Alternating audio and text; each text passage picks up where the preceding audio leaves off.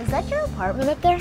Uh, Yeah. Yeah. The um sex apartment? You guys put on quite a show last night. Oh. Oh no! Oh no no! Uh, that was actually that's our neighbor. Uh, he's the guy that was uh, all night. He was All uh, night he was up complaining um, because we were putting, we were pleasing the ladies. It was, this is really embarrassing. Any chance of like a repeat performance tonight? it's funny you ask. Actually, there's a uh, having a show at 9:30. Why don't you guys drop by? All right. We'll be there. Okay, I'll see you there. Okay. Good show.